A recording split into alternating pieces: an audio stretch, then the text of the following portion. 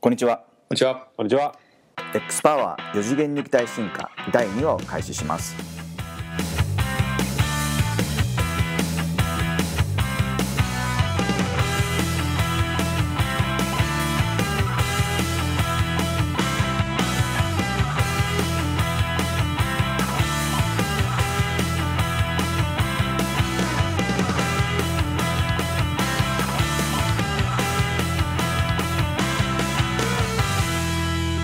今日のテーマは動化テクニック基本技。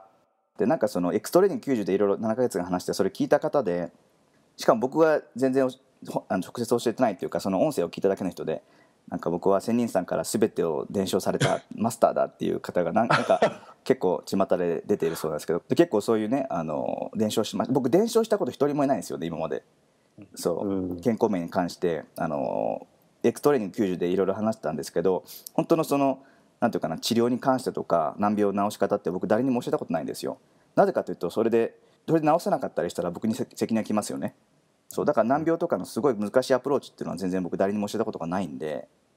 あの今までね。だからそれを伝承されたとかいう人がいたらあのそそれはあの真実ではないと思うんですよ。で、うん。中にあの仙人さんがあのいろいろサプリとかはあの販売してますかっていう話も僕は基本的に僕自身が、まあ、日本でね販売はしてないです基本的に僕自身は。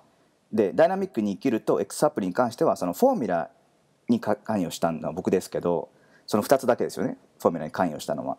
そうでもそれ実際はその担当の方がどうしても日本ではそれ作れないっていう規制があって最終的に僕が作ったフォーミュラは使われてないわけなんで。そうなので僕が本当に関わってフォーミュラを作ったっていうのはあの僕がつく僕自身が作ってる、まあ、海外でやってるんですけどしかもそれもあのネットとかでオープンで売ってないんでそううんいいろいろ規制がかかってくると僕はあのフォーミュラは作れないんですよねちゃんと。そう。なので自分で作って自分用に作ってそれをあの原価であの患者さんとかに手渡したり、まあ、送ったりっていうことはするんですけどそう。うん。だからそれ僕自身がちゃんと作ってるものって日本はないんですよね。だからこれ仙人さんが作ったやつですよねって言うとあそれはないです絶対にそう。うん。そう。だからダイナミックに生きるとエクサプリに関してはフォーミュラを僕はかか関わったってだけでしかもうん僕が出したフォーミュラは100%はあの忠実に守られてないんで規制があるから。だから、うん、か100%僕のフォーミュラですかと違いますよね、うん、そう。だからいろいろ代用してるものはたくさんあると思うしフォーミュラって次々と変えていけるんでそう僕の知らないところであの変えられてる可能性ありますよね。僕は常にそのあれをチェックしない限り。そう。はい。だから基本的にわからないってことです僕は、うん。うん、かだから関与しているものはあのゼロと僕は100%関与しているものはゼロと思っておいてください。小林さん、はい。今までこれあの仙人さんが作ったのかなっていろいろ あの思ったことあります？なんか巷で出回ってるとか。そうですね。なんか、まあ、僕はこういろいろ関係者みたいなのは知ってるので、まあ、仙人さんから学んだっていうことなんか人がこの商品を販売してたりとかしますのでそういう時はこれはあ仙人さん僕には連絡くれるのにその人と連絡取ってるのかなとかこう思ったりもしました。うん、だから基本的にあの噂とかあのまたまた聞きって言いますよね。そういうことは全然信用してほしくないんですよ。そう、うん。基本的に僕があのちゃんとそれをダイレクトに何かを伝えるとかね手渡しするとかだったら信用してもいいんですけど誰かが何かを言ってるっていうのは基本的に真実ではない可能性が高すぎるんで。そう。うん。そう。なので僕が直接話してない限りはそれは基本的に警戒しておいてください。はい。はい、はい。で今回のテーマはかなり大事なテーマに入って同化テクニックについて話していきます。同化テクニック。で同化テクニックって何ですかっていうと基本的に、うん、僕たちが健康になろうと思う時にまず僕が考えてほしいことはあまあいろいろ順番があって最初は排出ってところがかなり大事になってきてそういろんな毒素とか自分の中に、まあ、宿便とかねあの肝臓に溜まってるものとかいろいろまあ汚らしいものとか毒素がたくさん体に詰まってるわけですよね。いろんな食事とかいろんなこ空気とか水とかからね。そうそれを全部排出してきれいにデトックスするってことがまずステップ1なんですけどでそれには結構そのなんていうかないろんなテクニックが必要っていうかあの結構ちゃんとなんていうかもう少し踏み込んで話さなきゃいけなくなるんで基本的に今できることといえばこの1ヶ月目からねあのあなたがすぐにできることといえばその食べ合わせ同化テクニックとかだと思うんですよ。でうん同化テクニックは基本的にもう僕が多分今一番フォーカスしてるところでこの数年間でうん10その同化テクニック、まあ、食べ合わせを間違えたことが10回はないんですよね。おそらく6回とか7回とかだと思うんですけどでもそれも自分で分かってやってなくその無意識にそうこなんか入ってたとかねなんかどっかが間違えて。うん。でも自分の意識的にあえてその間違った食べをしたっていうのは本当にもう片手ぐらいだと思うんですよ数的には。は。へー。そうそれぐらいもうかなり重要視してて。そう。でいろいろ僕も食べたりそのなんていうかなすごいケンジさんとねシドニーでレストラン行った時もう3万円分ぐらいね僕だけ食べたり ガツガツ食べたりいろいろ食べるんですけどあの見ててどうでした？結構まあ2日3日僕と食事を見たと思うんですけど横で。はい。結構いろいろ食べてるようで残してるのも結構ありました？いやすっごい残してましたね、うん。あのであとシドニお寿司屋さんに行った時はお寿司だけを食べてまあデザートとかもいろいろあるんですけどそれは絶対に食べないっていうか感じでしたね結構複雑なことやってましたよね。うん。やってました。そう。だからあれもうもう無意識でなってるんですけどこの数年間ずっともうやって徹底的にやってたまに僕間違えて口に入れたらベッて吐き出しますからね。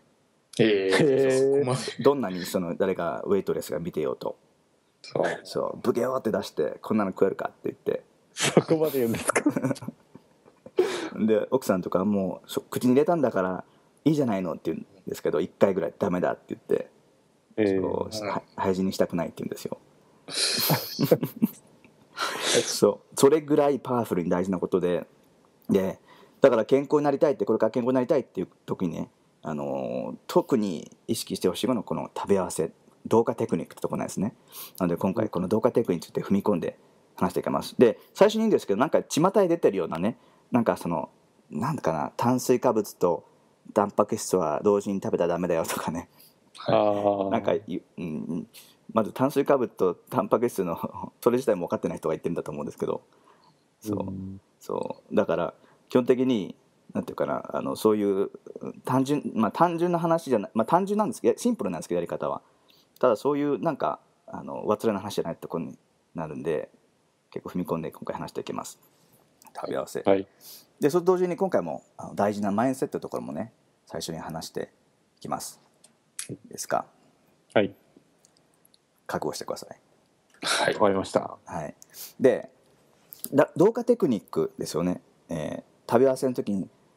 を理解する時にまず僕が話さなきゃいけないってちゃんと理解してもらうために話さなきゃいけないのは膵臓についてなんですよ。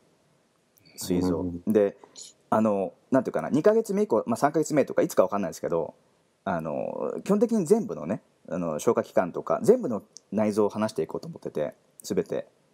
そう。だから例えばあの胃胃とかね口から始まって胃に入ってとか十二指あの小腸ですね十二指腸とかに行ってで大腸に行って直腸行ってとかいろいろあの上行結腸とか横行結腸とか下行結腸とかいろまあいろいろあるんですけどでうん。それで最終的に直腸から出るっていうところまでの、まあ、消化器官とかそあの膵臓とか肝臓とかあの腎臓とか脾臓とか、まあ、いろいろありますよね。肺とか皮膚とかね。で脳とかもいろいろあるんですけど、で基本的に全部その一話一話であのしっかり話していってちゃんと理解して医学西洋医学的なその視点っていうかな。そしてその東洋医学的な視点とかあのイスラム医学的な視点とかねアイルベーダの視点とか、まあ、いろんな角度から話していって順番にそれぞれ。で、うん。最終的にあのじゃあでアプローチはじゃあどうしたらいいのかってとこまで話していくんでで基本的に医学とか、医学学校とか、まあ、いろいろ行くと基本的にそのなんか解剖学と生理学をバンと教えられてそれで最終的にアプローチは手術なんですよね。手術。もしくは西洋 あの製薬会社で出してる、まあ、あの薬ですよね。そう。どっちかなんですよ基本的には。そう。じゃなくて僕がこれから教えていくのは、まあ、その解剖学から生理学からそれぞれの。でその西洋学的な手術とか外科手術とかその薬でのアプローチももちろん話してそしてそそのオプションとして代薬療法代行療法として他に何かできることあるのかっていう話もしますし。で、うん基本的にもそもそも予防するっていうのはどうすればいいのかっていうところまでちゃんとあの踏まえて話していくんでだからすごくそのトータルな勉強になると僕思うんですよね。そう。うん。だから今まで多分そのケンさんとかででもなんかあのなんていうかな日本伝統のなんかお味噌汁を食べたらいいんだ分かったかみたいなこと言われてもなんか納得いかない感じしません？そうですね。あのーうんなんでそうなるんだっていうのをちょっと聞きたい気はしますよね。日本人が昔からやってからやってたからそれでいいんだよとか言われたら